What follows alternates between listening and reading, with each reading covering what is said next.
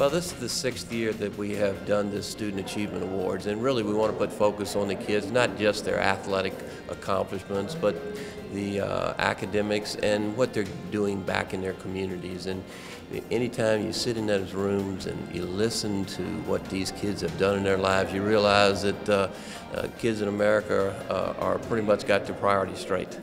As you look around you in here, there are 16, 16 elite young men and women who have excelled on the courts, on the fields, in the classroom, and in their communities. Please stand and be recognized.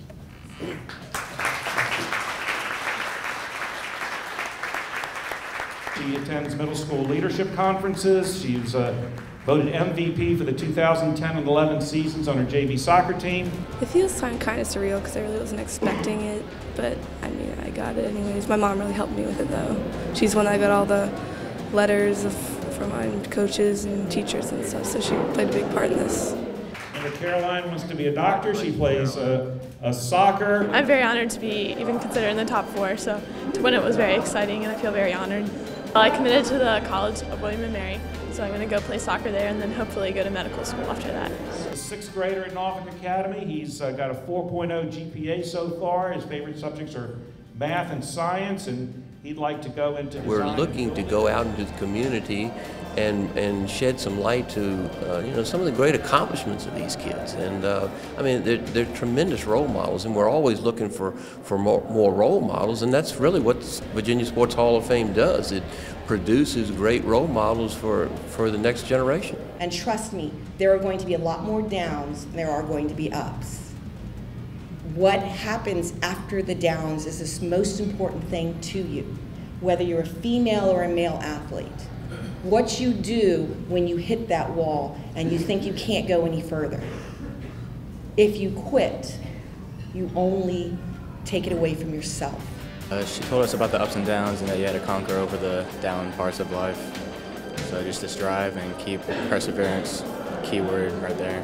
He plays soccer, basketball, lacrosse, and cross country, and he wants to go into special forces someday, be an engineer or professional soccer. Uh, I have to thank some of the parents on my soccer team, uh, including Cecilia Ramirez. Uh, she's a parent of one of the kids on my soccer team, and she actually did a lot to put in a nomination and to actually type up an article that was in a Suffolk newspaper about me and do that. And also my mom and dad for putting together the application to send in. But I just want to say to the parents out there, congratulations. You have some terrific kids. Um, I served on the selection committee uh, to, to select the 16 young people that are, that are going to be honored tonight. And I have to tell you, I have never seen so many A's in my life. what is so tough is you've got just three and four hundred applicants to go through. And I'm glad that I'm not on that committee because those six, seven people have to sit there and go through all those, trying to come up with just four kids in each of those categories. And, you know, like we said, you, you pick one winner in each category, but all 16 of these kids are, are winners. And uh, every one of them, uh, is, you know, is going to be successful because, uh, fortunately, they've had people thus far in their lives that have guided them and directed them the right way.